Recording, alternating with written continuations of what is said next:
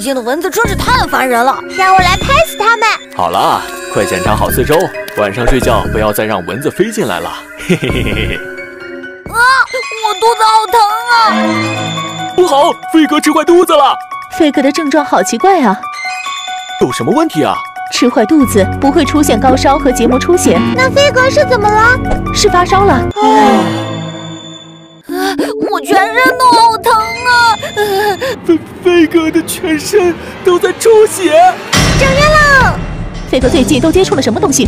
对了，莫非是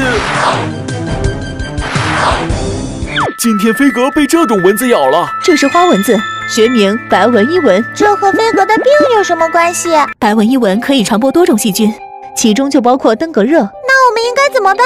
赶快卧床休息，多喝热水，并进行物理降温。严重了怎么办？那就要去找医生。